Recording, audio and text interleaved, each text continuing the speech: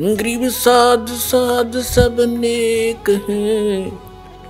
आप अपनी ठोरी जो सतलोक ले जाएँगे, वो साधु कोई और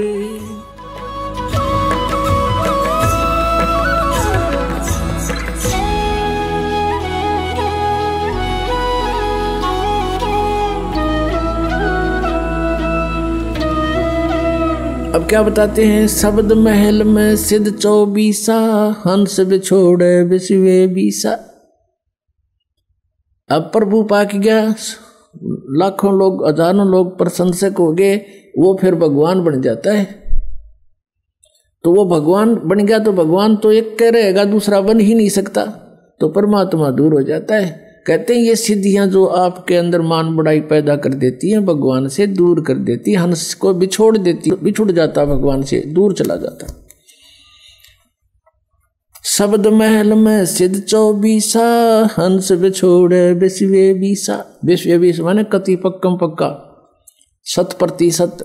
जीव का नाश करती है भगवान से दूर कर देती है ये सिद्धियाँ की जो चौधर है एक सिद्धि सुर देव मिलावे एक सिद्धि मन व्यक्ति बतावे एक सिद्धि हो पौन स्वरूपी एक सिद्धि हो वे अनुरूपी एक सिद्धि निस्वासर जागे एक सिद्धि सेवक हो आगे एक सिद्धि सुरगापुर ध्यावे एक सिद्धि सब गट छावे एक सिद्धि सब सागर पीवे एक सिद्धि जो बहुजुग जीवे एक सिद्धि जो उड़े आकाशा एक सिद्धि पर लोक बासा एक सिद्धि कष्ट तन जारा एक सिद्धि तन हंस निहारा एक सिद्धि जल डूब न ला जाई एक सिद्धि जल पैर न लाई एक बहु चोले धारे एक सिद्धि नीतत विचार एक सिद्धि पाँचों तत् नीरम एक सिद्धि हो बजर शरीरम एक सिद्धि पी हुए नहीं खाई, एक सिद्धि जो गुप्त छुपाई।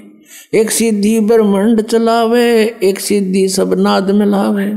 एता खेल खिलारी खेले, सो हम हंसा प्रगट बेले चौबीसा को ना मन चावे सो हंसा शब्द अतीत कहावे। प्रसिद्धि पूर्ण पटराणी, सतलोक की कहूँ निशानी। सतलोक सुख सागर पाया, सतगुरु भेद कबीर लखाया। परमहंस देखो परवाना, जन कहता दास गरीब दीवाना। अब क्या बताया है कि एक सिद्धि मन वृत्ति बतावे कि मन के अंदर आपने के सोच रखा है। तो हम कहते हैं, ये सिद्धियाँ हमें इनकी आवश्यकता नहीं। एक सिद्धि निस्वासर जाग गए एक सिद्धि सेवक हो आगे। एक सिद्धि दिन रात जागने की प्राप्त हो जाती है। और हम भक्ति अध्यात्म ज्ञान से इतने दूर हैं, अध्यात्म ज्ञानहीन हैं हम हम जरा से भी किसी संत या भक्त में ऊट पटांग सा देख लेते हैं, हम उसके साथ चिपक जाते हैं, प्रभावित हो जाते हैं।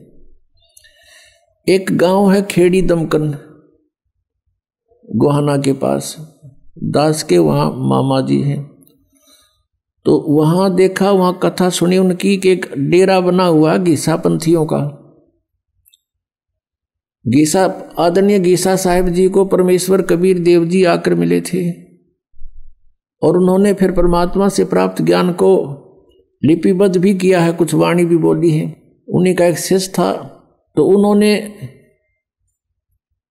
उस अपने आदरणीय गीसा दास साहिब जी की शिष्ट हो गया, लेकिन वचन नहीं माना उसने। अपने हिसाब से हठयोग करता रहा।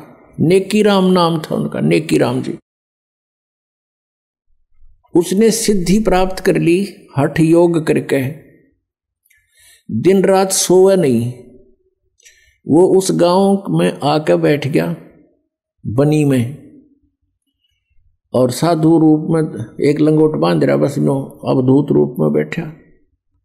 गाँव के नगर के लोग जाते हैं, देखते हैं कि महाराज तो दिन रात सोता नहीं। एक न देखा, फिर छुप के देखा। देखते रहे, दस दिन, बीस दिन, पच्चीस दिन देखा कि सचमुच ये कभी सोता ही नहीं। इस बात प्रभावित हो गए और उड़ा बना दिया, उसका आश्रम गाड़ दिया, लठ। बता नाश हो के हो गया, किला टूट गया नाश होते हैं ये सिद्धि प्राप्त कर ली, इसी से महात्मा पाक गया, ना जाने कितनों को और बर्बाद कर गया। तो कहते, एक सिद्धि निस्वासर जाग गए एक सिद्धि सेवक हो आ गए एक ऐसी सिद्धि होती है कि एक समय एक संत ने साधना की इनके पिछले पुण्य साथ होते हैं, वही भक्ति के लिए घर गाँव छोड़ कर जाते हैं। बिना ज्ञान के। और इनके पिछले पुण्य डिपॉजिट होते हैं ऊपर। तो ये कोई ऐसी सिद्धि कर लेते हैं तो इन्हीं के पुण्यों से उनको वहाँ सर्वेंट मिल जाते हैं। आध्यात्मिक सर्वेंट ये प्रेत रूप में सामने खड़े हो जाते हैं आकर के। और इनसे फिर वो अपनी किसी को किसी में प्रवेश करा देते हैं। फिर वो दुखी होते हैं तो वो कहते हैं, वहाँ लेकर चलो। फिर वहाँ अब पे फिर वो ठीक कर देते इस तरह की भी इनके झाड़ फूक का धंधा चलता है। तो कहते हैं, एक सिद्धि सब सागर पीवे, एक सिद्धि जो बहु जुग जीवे। एक सिद्धि कष्ट तन जारा, एक सिद्धि तन हंस नियारा। एक सिद्धि जल डूब ना जाई, एक सिद्धि ऐसी है कि जल का ऊपर का चला जा, डूबा नहीं। जैसा भी आपको बताया था, उसने ये सिद्धि कर रखी थी। एक सीधी ऐसी है कि जल के अंदर प्रवेश करके बाहर आओगे तो सूखे पैर मिलेंगे, जल उनका टच नहीं होता। एक ऐसा ही रोहतक ज़िले के अंदर, अब वो शायद सोनीपत में आ गया सिसाना गाँव है, रोहतक से सोनीपत रोड खुरखोदा साइड में। उस सिसाना गाँव में वो घिसाई पंथी था वो भी। ये सारे उस नेकी राम की ब्रांच बन गई, फिर वो आगे थी। उसके पास एक सिद्धि थी कि वो तालाब में जा करके वापस आ जाता है तो पैरों का गारा और जल नहीं लगता। इस सद पर वो पा गया और देखा उड़ा रोड का ऊपर इतना बड़ा आश्रम गार्ड रखे है उसका। उसको नारायण महात्मा कहने लगे, नाम कुछ और था उसका। तो परमात्मा लास्ट में ये कहते हैं कि एक सिद्धि बहुत चोलेदार है, कई रूप बना लेते हैं, वहाँ भी देखा, वहाँ भी देखा। तो कहते, ये भी व्यर्थ है। चौबीस को ना जल चावे सोहन शब्द अतीत कहावे। प्रसिद्धि पूर्ण पटरानी सतलोकी को निशानी। कहते, उस कबीर परमेश्वर जी के पास वो प्रसिद्धि है। प्रसिद्धि माने सब सिद्धियों की माँ। यानी पूरा सटोक, सटोर असंख्य सिद्धि मालिक के पास है। यहाँ इस काल के पास अष्ट सिद्धि है ओनली आठ सिद्धि है। और ये भगवान बता रहे हैं कि हमारा, हमने जो आपको मंत्र सतनाम दे रखे है, इसमें चौबीस सिद्धियाँ आ जाएँगी आप में। लेकिन ये आपकी शत्रु होंगी जब प्रयोग करने लागे तो आप जैसे भगत दो तीन वर्ष आपको नाम लिए हो जाएँगे, और आप किसी को आशीर्वाद देने लग जाओगे ना, उसको लाभ होने लग जाएगा आपसे। लेकिन आपकी भक्ति का नाश हो जाएगा। तो ऐसी गलती नहीं करना भूल के भी। आप देखते हो, कई गाँवों में झाड़े लाते हैं, उससे कुछ राहत मिल जाती है। वो पिछले जन्म का पुनकर्मी प्राणी है, कभी सद्दी साधना की थी उसने भक्ति, और वो कुछ डिपॉजिट ईप रहे ईप लाग रहा, नाश कर झाड़े ला ला के और फिर वो गदा बनेगा, उसका फिर वो किसका झाड़ी लाओगा, कुमार लाओगा झाड़ी, उसका लठ मारेगा कमर पर। तो पुण्यात्माओं, इस अध्यात्म ज्ञान को समझना पड़ेगा।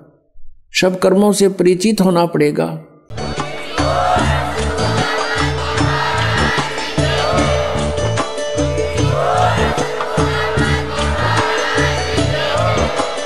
आप सुन रहे थे जगत गुरु तत्वदर्शी संत रामपाल जी महाराज जी के मंगल प्रवचन। अधिक जानकारी के लिए विज़िट कीजिए हमारी वेबसाइट www.jagatgururampalji.org संत रामपाल जी महाराज जी के शुभ आशीर्वाद से पूरे विश्व भर में 500 से भी ज़्यादा नाम दीक्षा केंद्र हैं, जिन पर संत रामपाल जी महाराज जी द्वारा ऑनलाइन निशुल्क नाम दीक्षा दी जा रही है। अपने नजदीकी नाम दीक्षा केंद्र का पता करने के लिए संपर्क करें। Eight two two two eight eight zero five four one.